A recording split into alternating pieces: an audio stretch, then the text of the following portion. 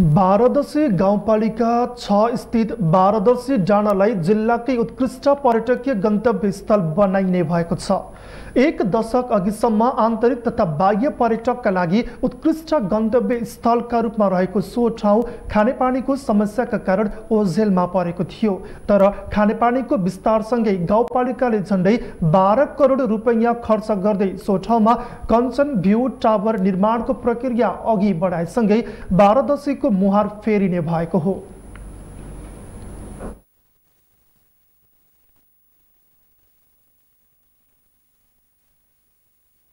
रूपमा हामीले बारदशी गाउँपालिका अन्तर्गत एउटा बारदशी हामी डाँडा भन्छौँ।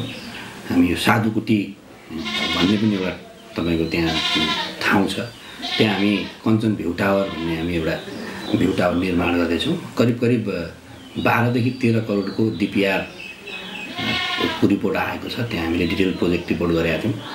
त्यसले चाहिँ करिब हामीले चार तिनदेखि चार वर्षभित्रमा त्यसलाई सम्पन्न गर्ने भनेर बहुवर्षीय योजना बनाएका छौँ। झापाकै एकदम महत्त्वपूर्ण पर्यटकीय स्थलको रूपमा चाहिँ विकास गर्नको लागि गाउँपालिकाले योजना बनाउँदैछ त्यही योजना हाम्रो अगाडि बढ्दैछ।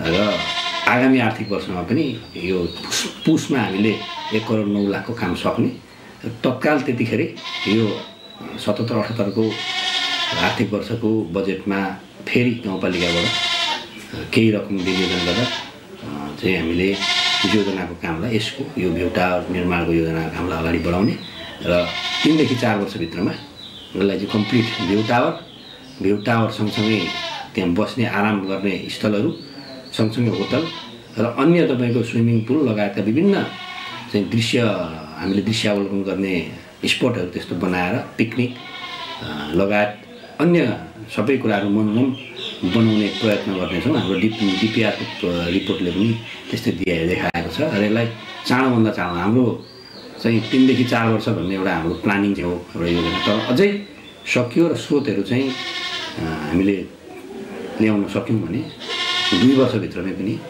बाह्रदशी गाउँपालिका मधेसभित्रको पहाडको रूपमा यस ठाउँलाई लिइने गरिन्छ।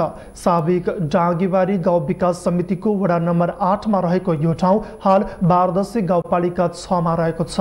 भौगोलिक दृष्टिकोणले समुद्री सतहबाट तिन सय मिटर उचाइमा रहेको यो ठाउँले महाभारतकालीन इतिहास बोकेको छ।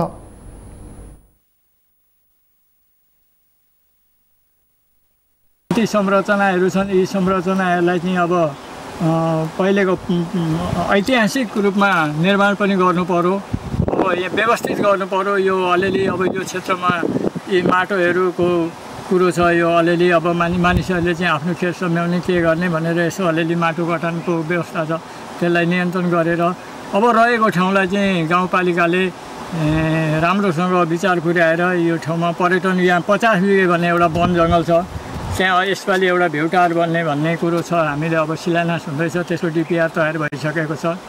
अब यहाँ अर्को इको टुरिज्म भन्ने एउटा अब कार्यक्रम हामीले सञ्चालन गर्दैछौँ। अब सबै उपभोक्ताहरू त्यसमा सेयर बनेर एउटा लिमिटेड खडा गरेर त्यो वनमा चाहिँ अब कसरी वन र बस्ती पर्यावरण यी तिनवटा कुरालाई लिएर हामीले कसरी विकास गर्न सक्छौँ र यहाँका जनताहरूलाई कसरी चाहिँ विकासको साझेदारी गर्न सक्छौँ भन्ने कुरो बाह्रदशी गाउँपालिकाले बहुवर्षीय योजना अन्तर्गत यस ठाउँमा सुविधा सम्पन्न भ्यू टावर निर्माण गरे पनि धार्मिक तथा ऐतिहासिक महत्त्व बोकेको साडुकोटी स्मारक निर्माण गर्दै धार्मिक पर्यटक भित्राउन सकेको खण्डमा कञ्चनगढको विकास थप टेवामा पुग्ने देखिन्छ। बाह्रदशी सामुदायिक वन अर्थात् पचास विज्ञ वन क्षेत्रभित्र साधुकुटी गौरी शङ्कर शिवालय गागेत्री स्वरूपाश्रम समेत रहेकाले यस ठाउँको विकास गर्दै पर्यटनको अवधारणालाई अघि बढाउन सकेको खण्डमा बाह्रदशी गाउँपालिकाको बाह्रदशी डाँडाको पुरानो विरासत फर्काउन सकिने निश्चित छ।